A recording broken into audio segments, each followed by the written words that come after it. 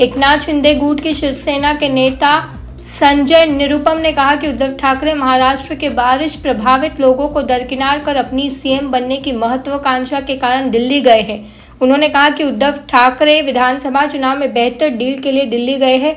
ऐसा लगता है कि उनका बारिश से प्रभावित लोगों की जगह राजनीतिक हित पर ज़्यादा ध्यान है। एकनाथ शिंदे गुट की शिवसेना के नेता संजय निरुपम ने कहा कि उद्धव ठाकरे महाराष्ट्र के बारिश प्रभावित लोगों को दरकिनार कर अपनी सीएम बनने की महत्वाकांक्षा के कारण दिल्ली गए हैं।